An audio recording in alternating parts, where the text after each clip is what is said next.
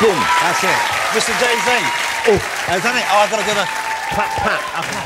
Jay Z, ladies and gentlemen. Thank you for joining us, Mr. Jay Z. You're much taller. Sit down. Sit down.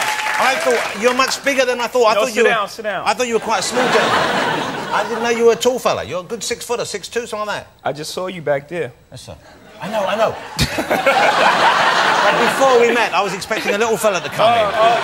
Oh, Yeah, before we met before the show. How are you? It's nice to see you here. I'm pretty good. This, this couch looks way more comfortable back there. Yeah, well, don't complain because you'll be back there in a minute, so just stop it. Well, welcome to the United Kingdom. I'm assuming you've been over here before, once or twice. Once or twice, yeah. Uh, you over here, you're going to be performing, you're touring, you're doing uh, headlines and that kind of thing. You're doing uh, Hyde Park, you're doing a show here, I believe. I'm a big deal. And then. uh, and you're also uh, headlining at the iconic Glastonbury Festival this summer. We'll take that pause out there. We'll Yeah, make it yeah, more yeah, immediate. Push, push it a little bit with the Pro Tools. Now, here's the thing. here's the thing about Glastonbury. Uh, there's been talk here that it didn't sell out as quickly as it normally does. They said because we have a hip hop act as the headliner. Did news of this? Did Yeah, this, uh, heard that. Speculation reached reach- the States, yeah. Okay, now what do you think about that? What's the deal there? Do you think? I mean, in the States, 100,000 people in a day is a lot. Yeah. But over here, I guess, is, you know, different. it's I think it's still a lot. Yeah. Are you ready for the Glastonbury experience? Do you think? I'm, yeah, I got boots. Look, my pants are already, look. They're already how my jeans is already dirty? Yeah, what's wrong with you? You knew you were going to be on TV tonight. Why didn't you make some sort of an effort? I'm going to wear these into Glastonbury. I'm just, I'm, I'm trying to break these in. You have uh, you have your own uh, brand of clothing, I believe. Yeah, yeah. Rocawear. Okay, uh, so and are you wearing? Is this any of your gear here now tonight? Or? Don't tell nobody, but no. No. if you meet a, a homeboy like me over here when you're here, and you say, "That's the kind of guy I want to see pimping my clothes," would you want to send me a box, maybe? Yeah, absolutely. I'm a I'm a I'm a kind of generous medium. It's funny that you say that. I wasn't going to say that, but you know, because I don't really know you like that. But I seen um, Ricky Ger- Ger- Gervais earlier, Oh, for fuck's sake. and he was telling me about your weight. You don't look that big to me. I think TV, TV adds 20 pounds. Yeah, you look yeah. fantastic. Um, thank you, Mr. I wasn't going to bring it up because I don't really know you like that, and I don't, you know, you Yeah. know, these your want to embarrass you in front of your friends, but you brought it up first. Will, can you come out sooner? Is that okay? He's always so nice to me. Uh, okay, you are a huge uh, hip hop star. You're a huge star in, in music generally, but I mean, I guess we talk about that kind of music. You've sold uh, how many albums? Do you, do you know roughly how many you've sold? One or two or three or 50 million. 50 million uh, CDs, I guess is really the thing. That's, that's something. Hey, I have a feeling that no one in this audience bought any one of No, I'm sure I- they did. Yeah. I bought the American Gangster one. Well, yeah, that's okay. oh, oh. My stomach got caught on the desk then. Ricky. Hey, but that one, you have a. If you're having girl problem, I feel bad for your son. I got 99 problems, and a bitch ain't one. That was a good song. I like that. I did that with uh, Rick Rubin. I didn't curse yet. I just, you know, we was back there, me and Will, and we was talking about how you could curse on TV, and we really, we, we kind of like that shit. So I just wanted to get that off my chest. I feel great get, get back to the interview. Um, let me ask you about the sort of music you write and the way you put it together. When did you first start? When did you realise that you wanted to? And I guess you started. would- It's fair to say you started as a rapper. You started first of all writing your own raps and trying to perform them. Yeah, At what age was that? early, like I was nine. I would write on, I would, you know, just make beats on the table and write all the time. But I didn't know, you know, what it was because my mom, she told me, you know, you know how your mom tell you stuff like, you know, anything that comes in life, you got to work hard for it. But it was a gift, so it was easy for me. So I didn't really recognize it as a talent. So because on. it came easy to you, you thought maybe this isn't something that I should. But Right. but you, you stuck with it, I guess. Yeah, yeah. Uh, so where were you born? You were born in is it the Bedford Stuyvesant part of it's Yeah. Brooklyn, isn't it? And that's where Spike Lee came from, I believe. I remember Yeah, talking to him once. absolutely. Bed Stuys, they it, don't they? Yeah. And that was it used to be a pretty rough part of town, didn't it? I don't know what it's like now, It's but still rough. I don't live there, but it's rough. Well, you would move away, of course. You'd be, you'd be stupid if you lived there still, and you didn't have to, I guess. Right, rob me. Okay. Uh, well, then I'm glad No, that's not- not even funny. It's funny to us because we're a long way away from there. Um, They'll rob you too. yeah, they- quicker. try it. Blah, blah, blah. I don't even know what that means. you probably would scare them if you did. how, how rough is rough? How rough was it? I mean, we, we see uh, films about New York and those parts of town. So, were, were there guns? That's was the it part nice? that Was they it? make the like the um you know when they do like the cliche Yeah. of rough. That's like the cliche of rough. So Like, what, when you were growing up, what kind of things did you see? Were you witness to street crime? You saw that kind of stuff going on around you? I was partaking in it as well. Well, yeah, no. But before you yeah, started- I was, but not not anymore. did you see? Uh, did you ever see anyone shot? Of course. When I was nine years old. When I was nine years old, I sort of, uh, first person I ever saw get shot in the hallway. And, you know, I'm a kid, so, you know, we're running behind and we ran up and then we hear the gunshot and the guys laid there and we're like, wow. And he was dead. Yeah. Well, I'm asking because Well, he could have it- been shot in the leg yeah. or something. You know what I mean? I, I, No, I no, wasn't being facetious. I just thought that. that and that's. And then how did that feel? As a nine-year-old, presumably you knew that was around you, but did it have a big effect on you, or did it yeah, sort of? Absolutely. Absolutely. And then you said you got caught up in it yourself a little bit. You were involved in uh, some kind of street crime stuff. What was that? Uh, what, that was just to make some money, or it was because of peer pressure? Well, nah, a little bit of both, but more to make money. Money was hard to come by. And you were looking after your mum, I believe, weren't you? Of course. Well, not really. Yeah. It's You know, that's always everyone's excuse. I'm, I'm looking after my mom. yeah, yeah. But you She were. got a little bit, but I, went, I bought clothes. Yeah. but it kind of looking after your mum because she was proud of the way you were dressed. So it's kind of- it was a win-win situation. uh, uh, so how did you get out of there? How did you turn yourself around? Because let's face it, uh, the majority of people who get involved in that kind of thing, it doesn't end happily. It doesn't end Yeah, well. I was I was lucky enough. I had the talent.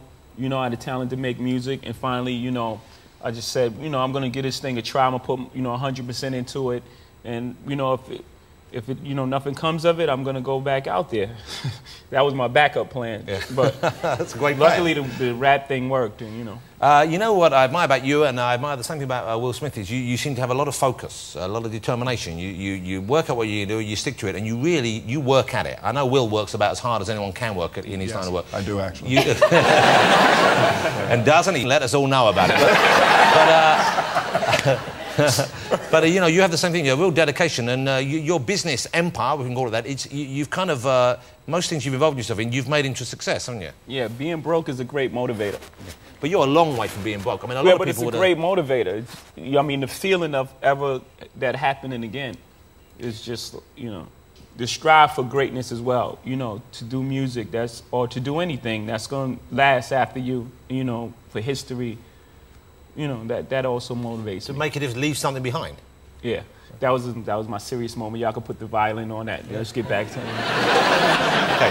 Uh, all right, let me ask you uh, about the kind of music you make because I like um, what we would call, I guess, urban music over here, that modern hip hop sound you have. Well, there. hip hop music is now international. It's actually pop music. Is is reached that you know that's that's an old term. What are you? What's your favourite kind? Of, if we're talking genres, would it be hip hop?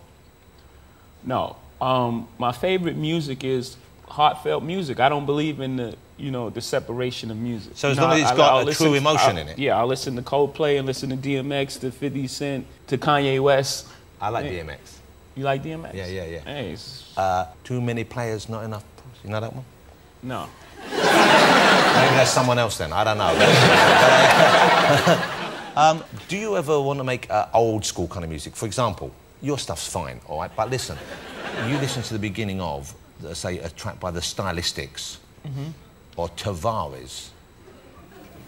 you know what I'm talking about? No. Stylistics, a little bit. Heaven Yeah. must be missing an angel. That's, that's fantastic. Don't rock the boat, don't rock the boat, baby. Rock the boat, don't tip the boat over. Rock the boat, don't rock the boat, baby. Rock the boat. Boom, boom, shaka, boom, boom, boom. You see? You, you ever want to do a song like an old style song, more kind of melodic singing rather than rapping? You ever tempted?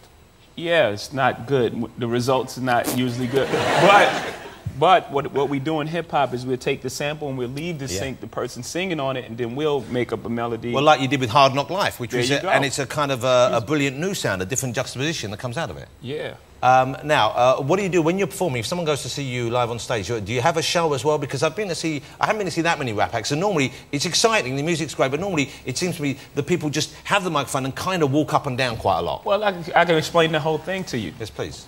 You got a minute? Yeah, I'll go. I'll go. This takes a second. Just take your time. in rock and roll or any genre of music, usually people, I'm gonna do it a little quicker. You know, usually people play and then they get discovered in some band or some in some uh, club somewhere. In hip hop, what happens is you make a record and then you put it on the radio and then that, you know, the record usually blows up. If I mean, if you're successful, right? And then they call you and you book a show and you're standing in front of a million people you and you've never, experience. you've never done a show. Got it. That's one reason. Two, a lot of times when the music is sampled, it's sampled as one sound. So there's no separation of the of the trumpet, the bass line. There's no separation. So you, when you take the other track that you use as your bed kind of thing, you, it's already on a one note kind of thing. yeah, it's like Yeah. a two track. So Yeah. You just turn it up, and when you turn it up, it just You lose a lot of that, distorts. yeah. Right. So I have a band, So you've got a live band, live kicking band, the so you sound out behind yeah, you. Yeah. Oh yeah. Oh. And do you do any dancing you gotta go. or you gotta any- go. This thing is incredible. Well, I'd like to come and see you. Yeah. Uh, if you want me to come out at any stage on stage and sing some of the old school like the Tavares for you, if there's a lull or you, or you want a romantic moment, give me a call. okay. Do you have any props on stage? Because last week here at the BBC, Coldplay played out the front and they ended it with a huge explosion of confetti. And that was impressive. I like that. We don't have that much money. Uh, We're not working with that Coldplay budgets. Yeah, it's a big budget. It actually looked like they shot your tie off. Is that a, is that a sexual euphemism? No. Are you flirting with me, Jay Z? Nope. Hey, you're a happily married man. I like this set. Yeah. It's like art. Yeah, you I'm like into it? art now. What sort of art do you like, Jay Z? Damien Hirst, I just, I have this. See, you set me that. Thank you. That was a nice segue. We're working together now. Um, my last album, American Gangster, which you was listening to earlier, I heard it blasting from your. I was dressing room. listening to it. I know. Um, I said, I said, I'm trying to beat life. This is very poetic. Get ready. Do you need some piano for this? A little bit. I'm trying to beat life because I can't cheat death. So he, You see what Jason's doing? He's not giving it away for free. so, so he made me a painting called cheat, Beat Life and Cheat Death, and they, they're together, but I separated them. But that's smart of him Yeah. because he knows you're going to want to have that because it's your work. It's a I'm kind not of, paid for it though. Yeah, I bet you did. Yeah. You know, he doesn't give it away for nothing. Yeah. Uh, can I ask you about your wife? Can I ask you a little bit about your home life? I know you don't talk about it too much. Whoa. Uh, You can ask me questions. I'll dance around them. It's a, it's a But only fantastic because thing. you're married to one of the most uh, successful performers in her field as well, and the the gorgeous. I've never met her, I, you know, but man, I've admired her from afar, like we all have. Maybe I shouldn't have said that. Anyway, uh, in a very safe way, uh, the beautiful Beyonce. So congratulations on that. Well done for a start. Uh, how lovely. Um, can I, I'll ask you one question here. Is it true, and I've read this, and it probably isn't true, but it is, is it true that her, her bootay is insured? That's just out of line. I heard. I apologise, sir, but I read this in the newspaper. That's just so far out of, you out of bounds, brother. But if You know when people start talking black on you, right? You out of bounds, brother. Yeah. I've been speaking right back at you, brother. That's what I'm talking about. I have no idea. It's, you know they make up these things. They say all kind of things. Yeah. So it's not insured. Not that I mean I don't know. Well, I'm telling you, if my bootay looked like that, I would insure it. Ricky said.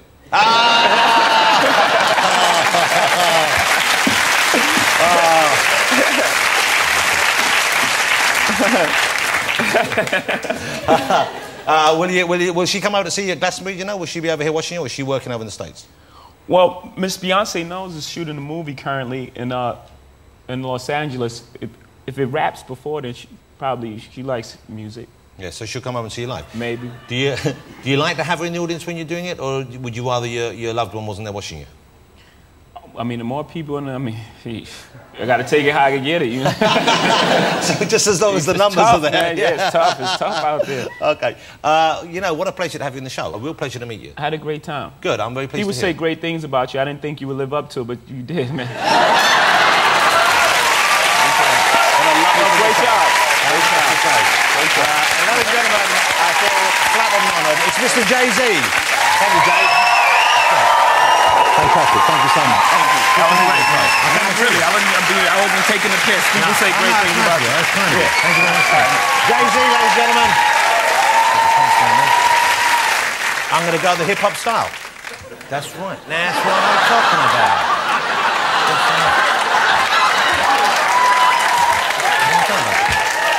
So, um, yeah.